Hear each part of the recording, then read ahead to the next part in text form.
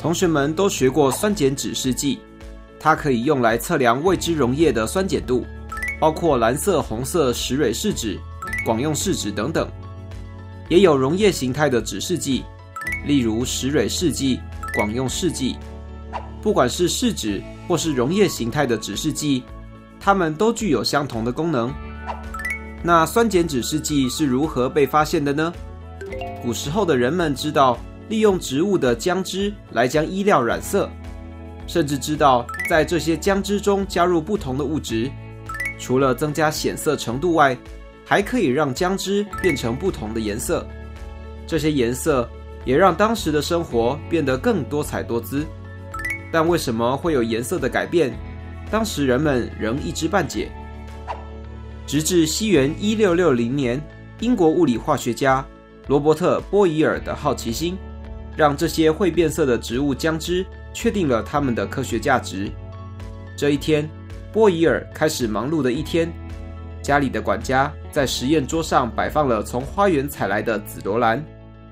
一个意外让盐酸喷溅到桌上的紫罗兰。波伊尔急忙清洗飞溅的液体，没想到经过冲洗后，花朵大部分面积居然变成红色。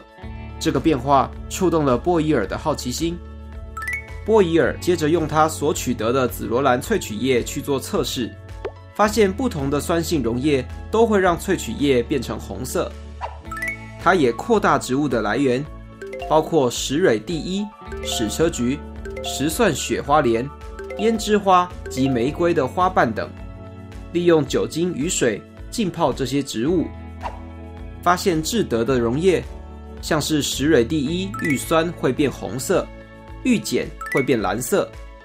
这种会因为酸碱性变色的溶液，后来称之为酸碱指示剂。我们也可以找到具有相同特性的植物，例如蝶豆花，来制作酸碱试剂。并透过颜色变化进行生活中常见物质的酸碱度测试。这次使用的实验器材如画面所示。会使用的实验药品包含 1m 的盐酸溶液二十毫升，，1m 的氢氧化钠溶液二十毫升，以及干燥蝶豆花约二十朵。首先取二十朵干燥蝶豆花，加入一百毫升。八十度 C 热水静置十分钟，观察颜色不再变化，冷却至室温后吸取澄清液备用。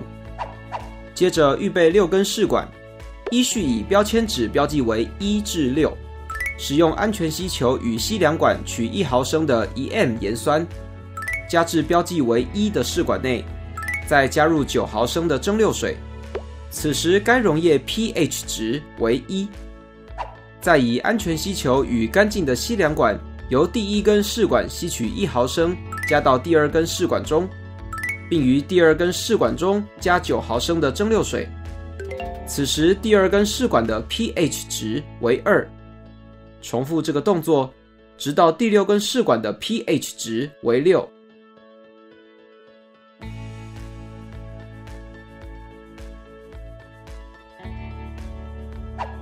然后取一根试管标记为七，此根试管请加入十毫升的蒸馏水。再来准备七根试管，分别标注为八至十四，使用安全吸球与吸量管取十毫升的 EM 氢氧化钠，加至标记为十四的试管中，此试管溶液为 pH 十四。再继续使用安全吸球与吸量管取一毫升的 pH 十四的氢氧化钠，加至标记为十三的试管内，再加入九毫升的蒸馏水。此时该溶液 pH 值为十三。重复这个动作，直到第七根试管 pH 值为八为止。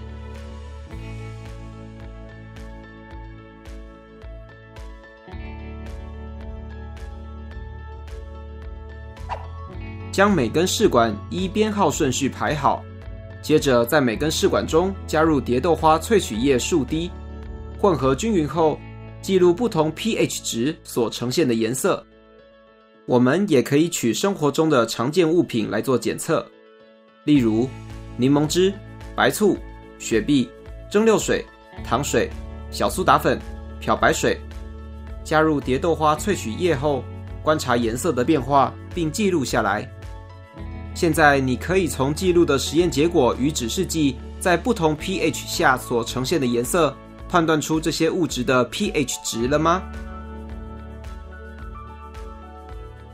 我们在实验室中会接触到的指示剂，有些是以试纸的形态来做测试，有些则以溶液的形态来使用，像是石蕊、秀瑞香草蓝、酚红、酚酞、广用试剂。接下来，让我们透过一个小测验，看看同学们是否都了解酸碱指示剂的应用喽。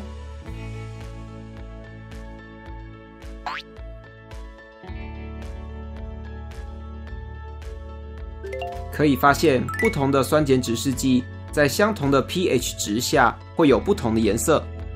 例如，某一酸性溶液，其 pH 值为四，若以石蕊试剂测之，会呈现红色；若以秀瑞香草蓝检测，则是黄色。分红检测为黄色，以酚酞测之，溶液则维持透明。广用试剂检测，则是呈现淡淡的黄绿色。所以，对相同 pH 值的溶液，使用不同的酸碱指示剂，就会有不同的颜色效果。另外，应该有同学发现，指示剂的变色都是一个范围。例如，对石蕊试剂而言，酸性都是红色的，碱性几乎都是蓝色的。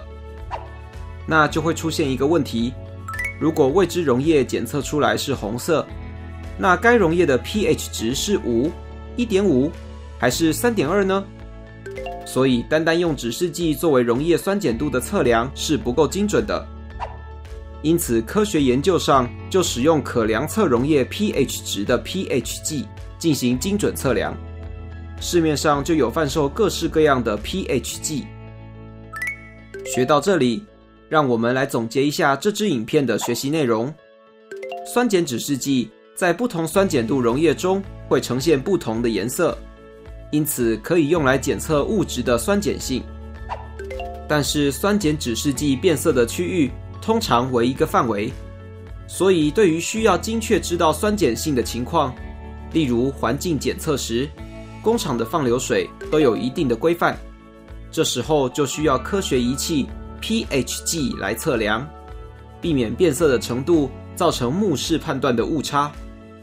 今天这门课提到酸碱指示剂都是由植物而来，同学们可以想一想，生活中有哪些物质也可以作为指示剂？